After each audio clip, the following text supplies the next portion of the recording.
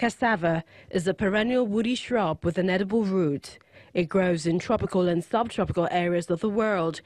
It is rich in carbohydrates, calcium, vitamins B and C, and essential minerals.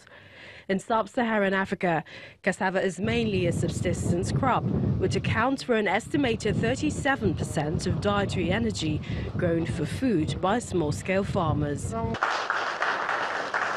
The relevance of cassava for both food and other sundry uses underscores the importance of this gathering by the International Institute of Tropical Agriculture, IITA, the National Agricultural Seed Council, and other developing partners who are here to assess the improvement of the seed value chain with focus on building an economically sustainable integrated seed system for cassava project.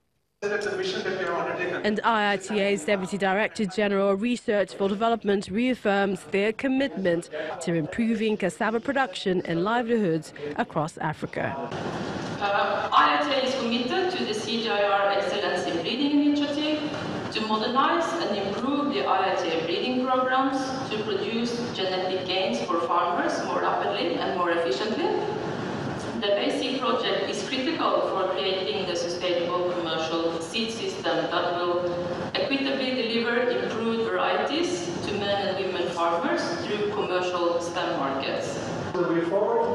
The project director for BASICS at the IITA Ibadan speaks on the significance of the initiative.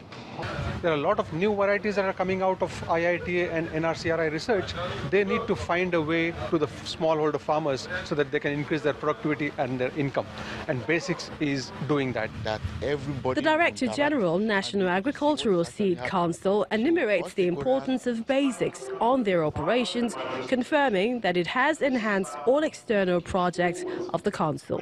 Basic project has been of very great significance to us.